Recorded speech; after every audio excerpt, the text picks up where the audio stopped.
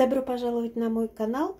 Предлагаю вашему вниманию салат здоровья, для которого нам потребуется 300 грамм капусты, одна морковка, одно яблоко, один красный лук, один небольшой болгарский перец, одна небольшая репка, моя репа большая, я буду использовать половину, пучок зелени, горчичное масло, соль, перец по вкусу.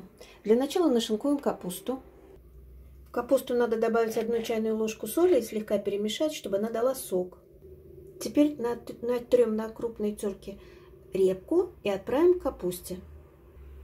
Мы смешали репку с капустой. Теперь очередь морковки. Также трем ее на крупной терке.